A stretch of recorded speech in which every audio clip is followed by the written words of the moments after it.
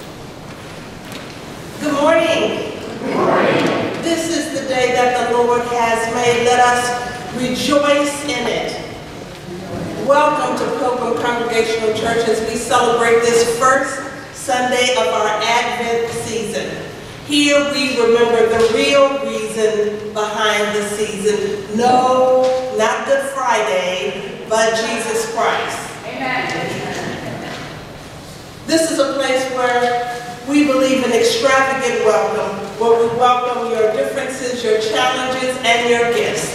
Let us worship the Lord. Our scripture today is from the Gospel of Luke. It can be found on page 56 or page 69 in your Pew Bible, depending on which Pew Bible you have in front of you. Um, I'm reading chapter 1, verses 26 through 43. The beginning of this chapter isn't about Jesus. The beginning of this chapter is about Zechariah and his wife Elizabeth, who are old and childless. And there's, there's a whole lot of stuff that happens before verse 26 that you might want to read.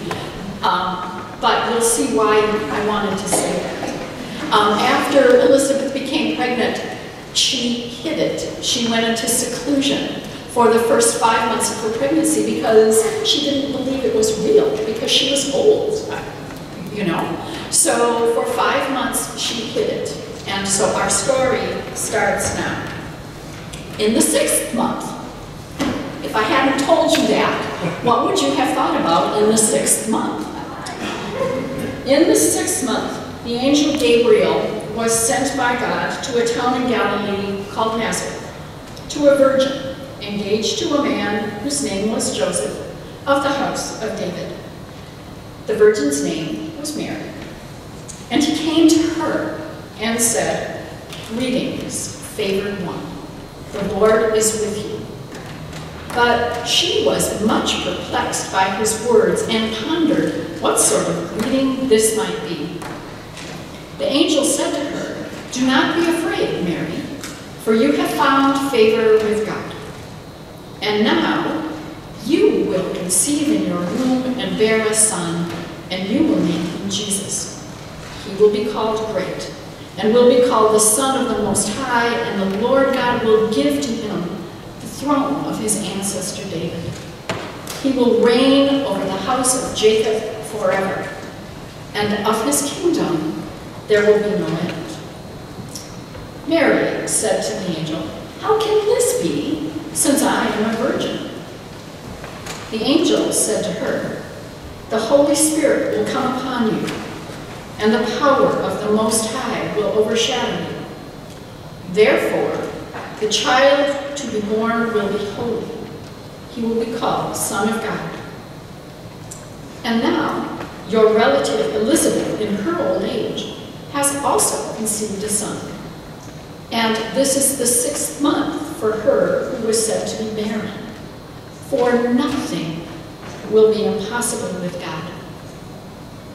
Then Mary said, Here am I, the servant of God. Let it be with me according to your word.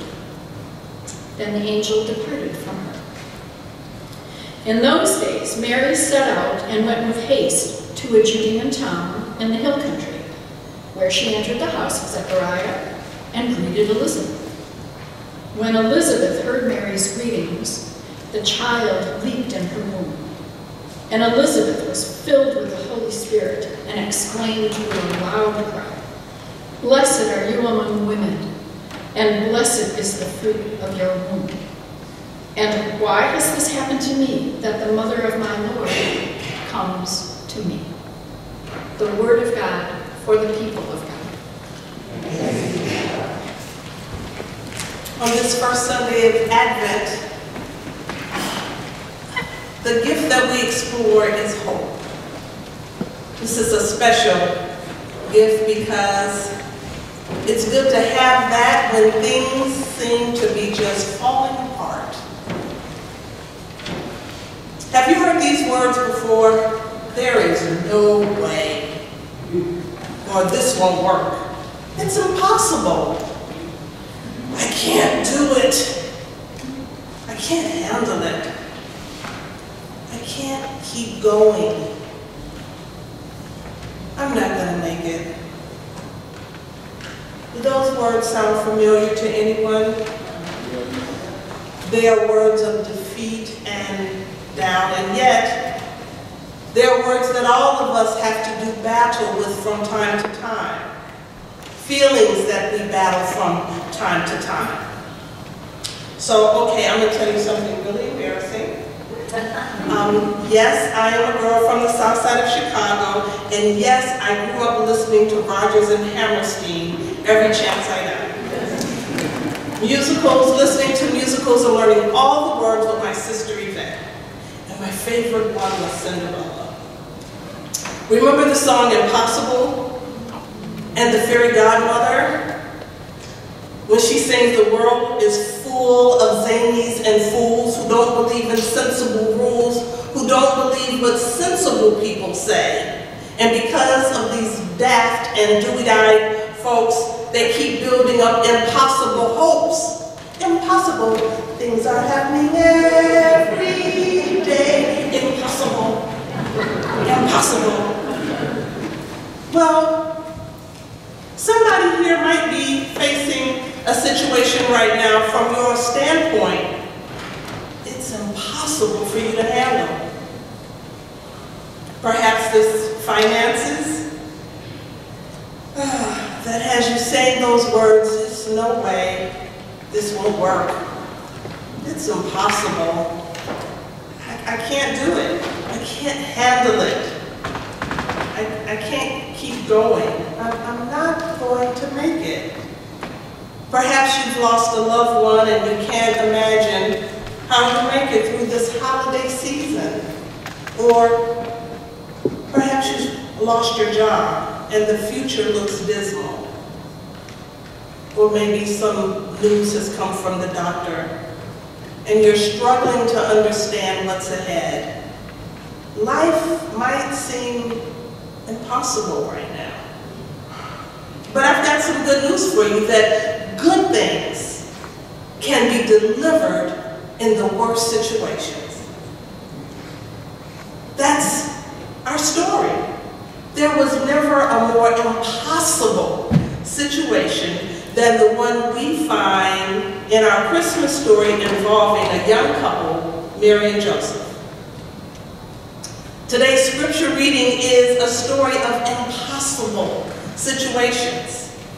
Today's biblical story is a story about trusting God enough to believe it really will be all right. Today's story is about being able to see the angels God sends you in your times of being afraid, to assure you that yes, God is with you in the most trying times. Everything about Mary's situation is impossible. I mean, how in the world could she be pregnant?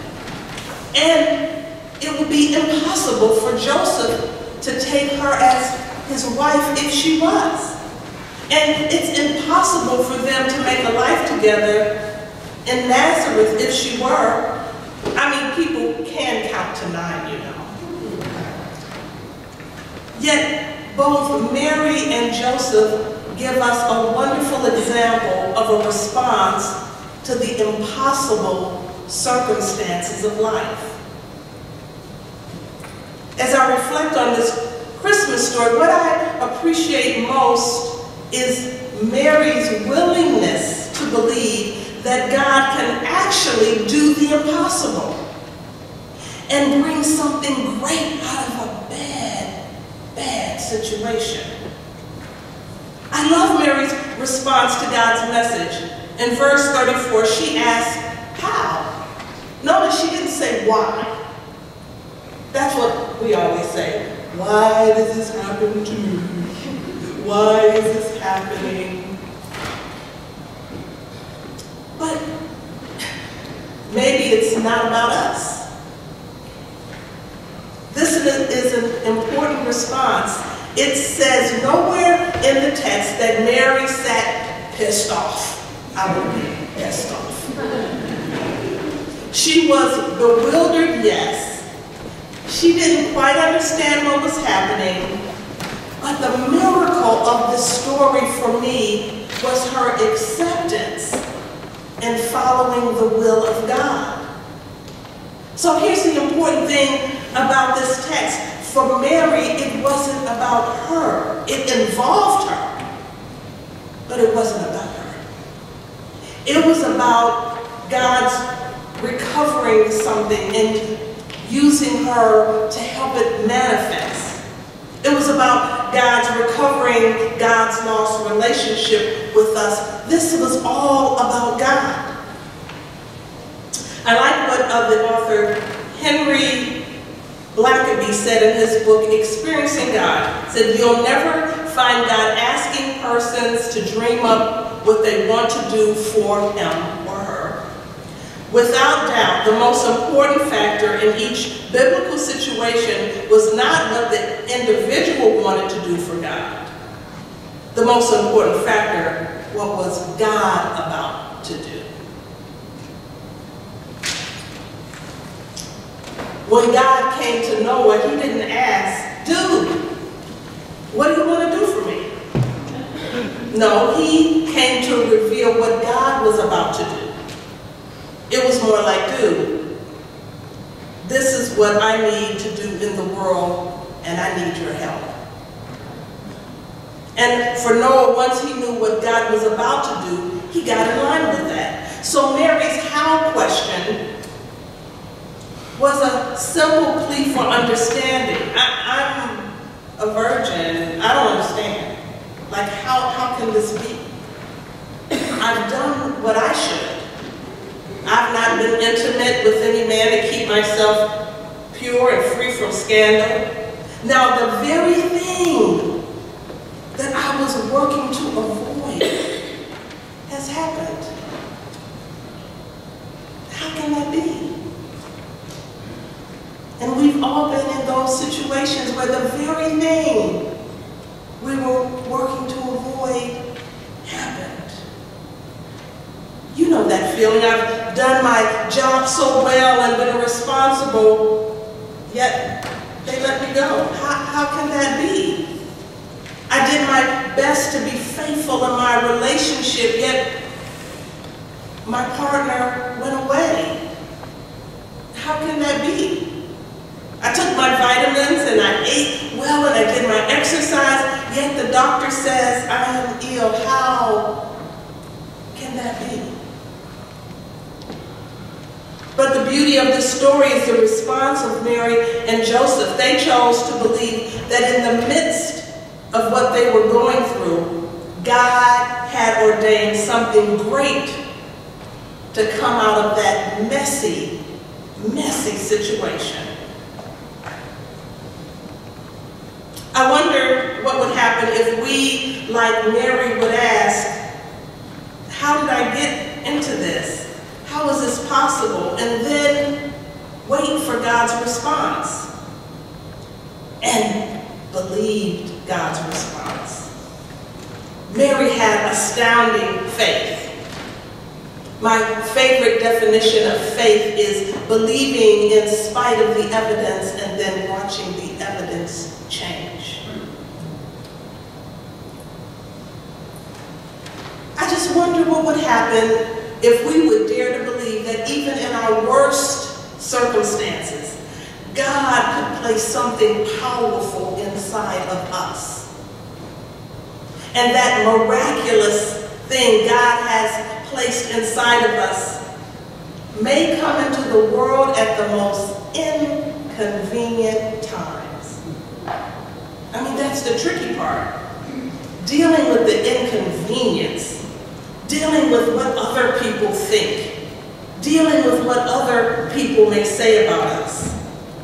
And we marvel that Mary and Joseph walked through that trouble, walked through the scandal, and it was a scandal, into the promise of what God had asked them both to participate in. Bringing something forth that they needed to nurture and protect so that hope could be born born into a world of evil and corruption. And we all know the story. The world was not at all impressed. In fact, the world had no, literally, no room for hope or possibility being born. But Mary and Joseph, they believed. In fact, Mary believed so strongly that when she learned that her cousin Elizabeth was pregnant, she went to visit her. Not to cry over her situation, like, look at us, you're old and I'm scandalized. No, she went to visit her cousin to rejoice. My soul, she says, magnify the Lord, and my, my spirit rejoices in God my Savior. Surely all generations will call me blessed. I mean, what would happen if we were willing to believe that God was in the impossible business? Not the name it business, but the impossible business. If we were people who didn't believe in sensible rules, who didn't believe what sensible people say, what if we had crazy faith that would keep building up impossible hopes?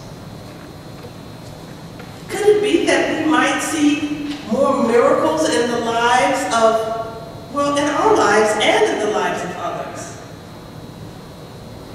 Perhaps we might also be able to be used by God to change the world in which we live.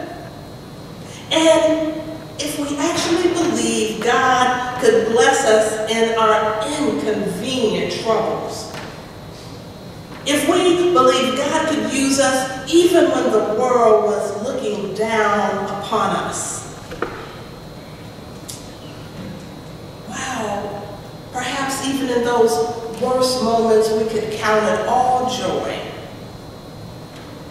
Perhaps we could count it all joy if we were willing to let God birth something through us. And I say it all the time, if you don't know what birth is painful, ugly, but the only way to produce new life. Perhaps we could say we were hopeful Even though we have to go through some stuff we'd rather not. If we knew the world was depending on us doing our part. Perhaps we would be more hopeful if we didn't let what other people would say when things seem to be going downhill and we really believe that God will not abandon or forsake us.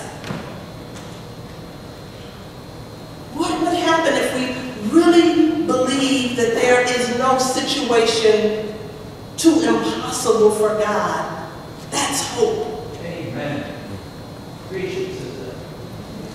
Christmas reminds us God is in the impossible business, bringing a Savior to us through a scandalous birth, Mary's baby, Joseph's baby, bringing a Savior to us from the low end of town.